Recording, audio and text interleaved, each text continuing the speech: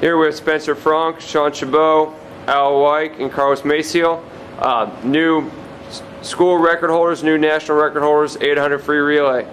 Guys, walk out, walk me through how you guys are feeling right now. Awesome. Great. Feeling great. you know, it's great to accomplish something that we've been working towards all year. It's something that we've all thought about, talked about, and it's great to finally get it done. But with that being said, uh, the event's over and it's time to move forward and um, take care of our events tomorrow. You guys were on a roll all night tonight, and I know that uh, Coach gave you, a, you had a good meeting this morning to get you guys prepared for tonight. Uh, you know, what, what got you ready to go?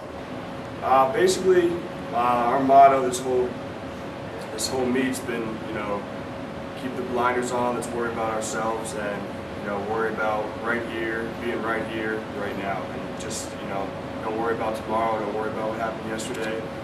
you know, just stay in the moment. Just it's, have it's worked. Yeah, and have fun. Definitely. We're having fun. How's it know that you guys uh, have the chance to be together for a while with this with this relay team and do some great things in the future if you if you stay focused? It's definitely exciting, but next year's an entirely new year, and by no means could this be the relay next year. It's whole new incoming class and whole new set of circumstances. So I'm just looking forward to right now and not thinking about anything else.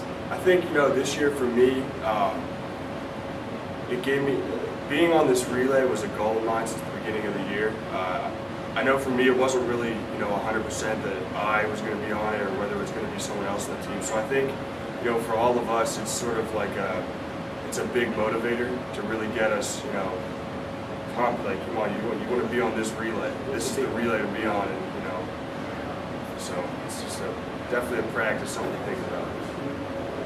All right, great. Thanks, guys, and good luck uh, with the final day tomorrow. Okay, you.